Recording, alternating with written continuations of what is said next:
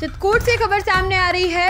भाजपा किसान मोर्चा चित्रकूट ने tractor rally को आयोजन करो है। ट्रैक्टर रैली से पूर्व एक सभा भी नवीन मंडी स्थल पे करी गई जिसके मुख्य अतिथि किसान मोर्चा के प्रदेश उपाध्यक्ष श्याम बिहारी गुप्ता, विशिष्ट अतिथि प्रदेश सह कार्यालय प्रभारी आनंद कटियार तथा अध्यक्षता जिला पुष्पराज सिंह ने करी है। क्षेत्रीय मीडिया प्रमुख एवं किसान ट्रैक्टर रैली के क्षेत्रीय संयोजक राम सागर चतुर्वेदी, जिलाध्यक्ष चंद्र प्रकाश खरे, जिला प्रभारी किसान मोर्चा आलोक पांडे, क्षेत्रीय सोच प्रमुख पीएन सिंह की गरिमामय उपस्थिति रही है। पूरे उत्तर प्रदेश में भारतीय जनता पार्टी द्वारा आयोजित की।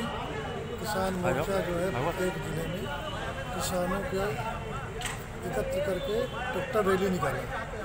उसमें जो किसानों से संबंधित योजनाएँ प्रदेश में चल रही हैं उन योजनाओं की जानकारी दी और किसानों के उत्पादन की क्षमता बढ़ाने के लिए उनको बताया गया कि आपको जो उचित मूल्य है जो आपके पैदावार की क्षमता है वो बढ़ेगी। इसके लिए रैली निकाली ये यात्रा कहाँ कहाँ से होकर ये यात्रा गल्ला मंडी करवी से गंगा जी रोड होते हुए बस अड्डे से एल तिराहा एल आई तिराहा से पटेल तिराहा पटेल तिराहा से ट्रैफ़िक चौराहा होते हुए संपन्न हुई कौन कौन लोग शामिल रहे रैली इसमें माननीय श्याम बिहारी गुप्ता जी हैं जो प्रदेश उपाध्यक्ष हैं किसान मोर्चा भारतीय जनता पार्टी के वो मुख्य अतिथि थे और उन्हीं के मार्गदर्शन पे रैली आई क्या शुभ नाम है आपका?